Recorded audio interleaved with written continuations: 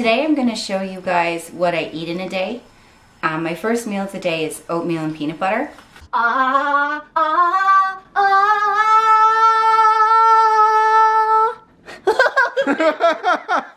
That's what um, Ariel did to when Ursula was taking her voice in The Little Mermaid so that she could get leads. I no, I don't know what any of that meant. Let's continue on.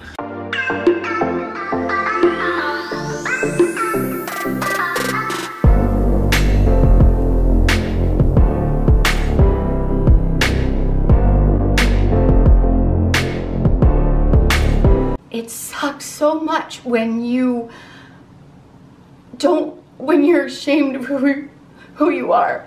I have spent most of my life hiding who I really am because I've been ashamed, embarrassed, and scared of judgment. This is really difficult. um, when I was little, I was totally different from all the other kids. I was independent. I preferred to be on my own. I was an introvert.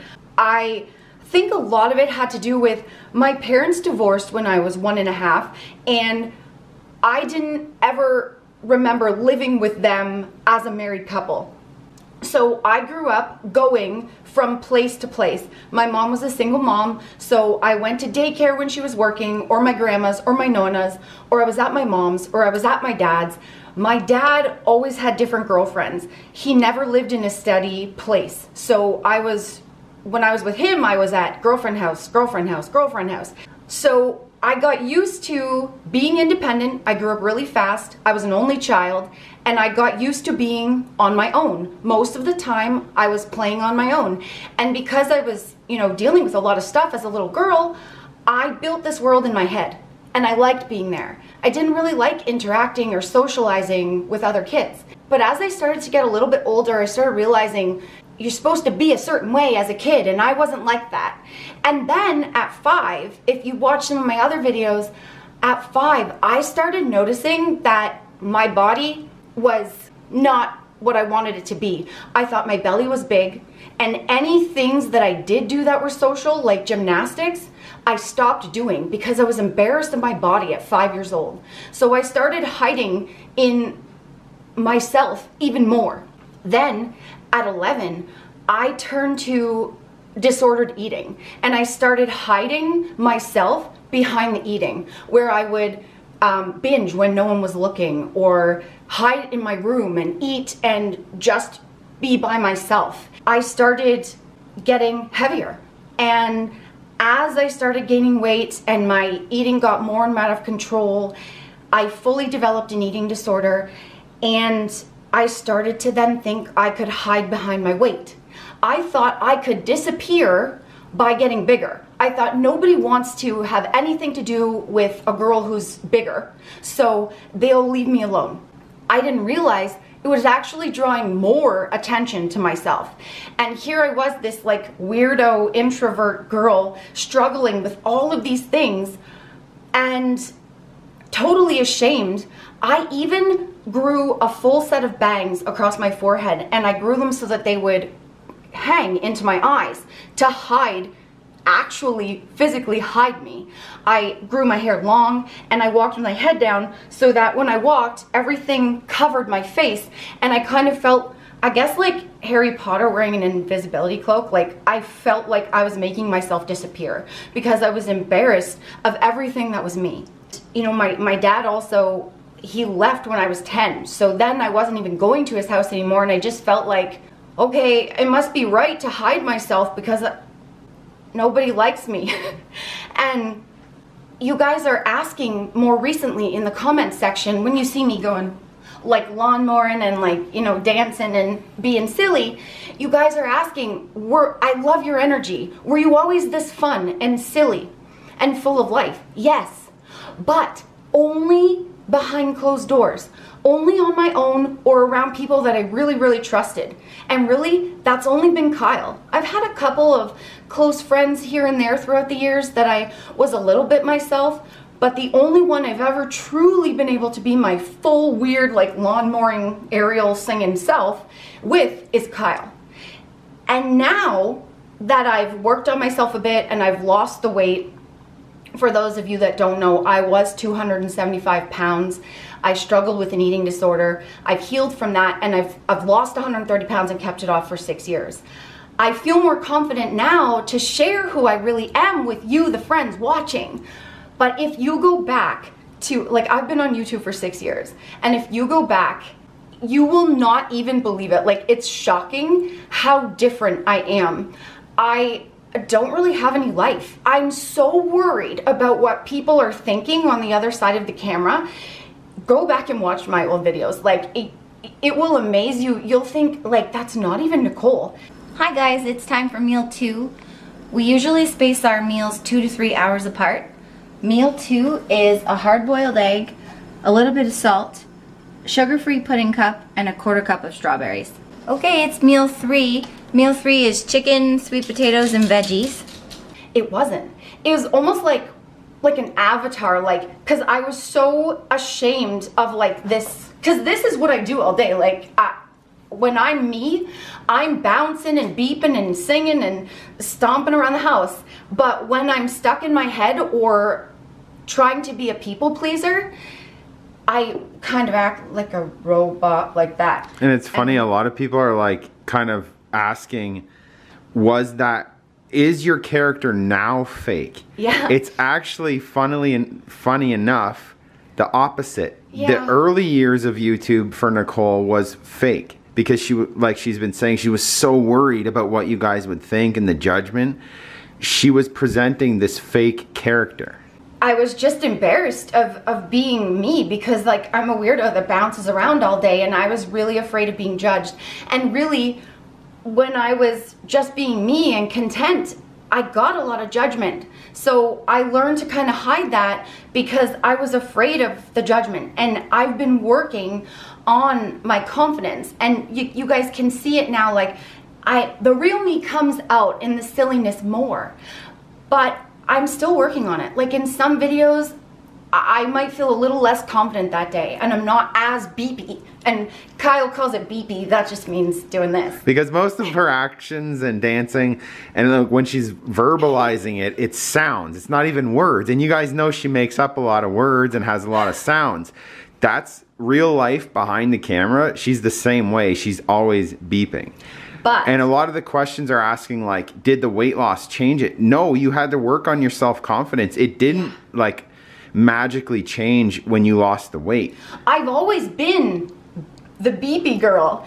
Always. Since I was little. I did that like living in the world in my head that I did when I was little. I was always beeping around. Nicole was called by professionals what they would say would be a hyper child, But to put it I- nicely. when I get yeah, when I get stuck in my head though, I become that sort of avatar character that you see in my earlier videos where I'm afraid to be me because of judgment. And there are some days even when I, you know, I'm at home and I'm stuck in my head where I don't beep as much. And then there are sometimes on videos where I'm like not feeling as confident where I don't beep as much. But I'm working on it and it has been an emotional roller coaster. Like, I've really made a pact with myself to be as much of me as I possibly can. It feels so much better to just beep around and be me instead of like putting up this front like I'm just like everybody else because I'm not. But doing that in public, you know, saying what I mean, being honest, saying what I really feel, or not engaging in small talk, which I don't like doing at all, not being super social, because that's not who I am. I feel judgment for those things. But I'm trying not to take it personally anymore. And it's been like, you know, someone played a song for me, a coworker today, a song that they really like, and it had something to do with being who you are and not being afraid of that and owning it. And because that's what I'm going through right now, I started to get teary eyed. And I was like, wow, this is like what I've been going through, like this struggle of like feeling the pull to be like everyone else, but I'm not. And I'm doing this video because any of you that might be struggling, that put up a front, or that have been embarrassed of who they are, know that you deserve it. You owe it to yourself to be who you are. It is so uncomfortable and painful to walk around not being who you really are, to be stuck up here, only saying and being what you think other people want. They want you. And I know, like, I see in Kyle's eyes when he sees me beeping how happy he is to see me being me because he sees I'm feeling confident in myself. And it sucks so much when you don't, when you're ashamed of who, who you are. And I want you to know if you feel that, you're not alone. And I'm so tired of that. And that's why I'm doing this video to tell you you'll be so much happier and feel so much better in your body, in your soul, in your mind. You won't be stuck in your head as much. You'll you'll beep in your own way. When you embrace who you are and stop caring, it's not about what other people think. It's not easy. I have been on an emotional roller coaster for the last few weeks since I've made this goal to keep being me and confident, but it's worth it. You are worth putting in the work and feeling that discomfort, that tension when you feel like you're being judged for being who you are, but you're worth going through it. And you're not gonna go through it alone because I'm here doing it. Kyle is behind the camera. He's doing his own working on confidence, his own journey like that as well. So you guys have two people right here that are going through it. You are not alone and you deserve to be fully you. Don't worry about other people People are going to judge you whether you're you or whether you're not you. They'll actually judge you more if you're not you. And they're they going to the you. They're going to judge you if you're overweight, if you're underweight, if you're in the middle. It won't. It'll all be judgment. It comes from you. You it, have to work on your own self-confidence. It doesn't matter if if you're a millionaire, if you're middle class, if you have whatever. It doesn't matter whatever your interests are. If you're an introvert, if you like being social, they're to judge you no matter what. So own who you are and be that. And I promise you, because I've made a lot of progress in three weeks, it gets better. And you feel more you. You wake up feeling more you and caring a little less. I still worry about people pleasing. I still feel like really judged for being me, but I'm keeping going on this journey. And I'm gonna show you it gets better and you're gonna see me beeping more and just know we're here for you and we love you and this is part of my weight loss journey. This is like a, a new step. You know, I worked through my eating disorder through the weight. I've kept the weight off. I love what I eat. I love what I do for cardio. This confidence thing, it's like the toughest part of the journey it, it's something that, that goes so deep that I'm working through from trauma from a little girl all the way till now. And it's a rough road. I'm not gonna lie, but it's totally worth it, guys. And um, yeah, that that's it. I just I just want you to know you're not alone, and life is too short to feel not good in your body uh, with who you are. And I mean on the inside and on the outside love everything about you your imperfections, your strengths, your weaknesses. Love it all and use it to make yourself better every single day and to feel good in your being.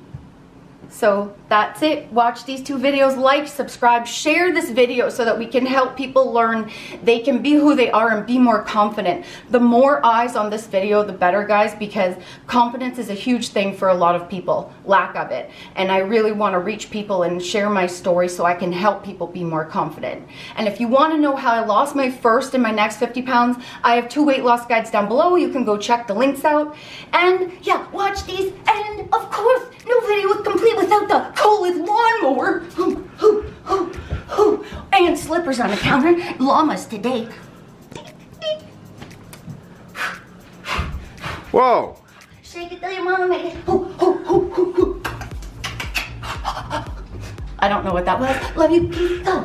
That was called uh, hyperventilating. That's also called beeping. Bye guys. I'm out. See?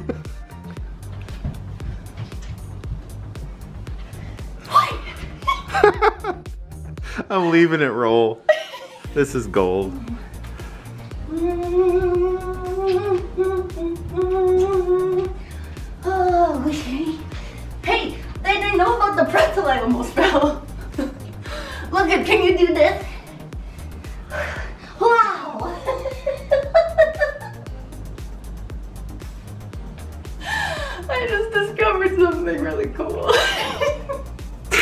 Don't put baby in the corner.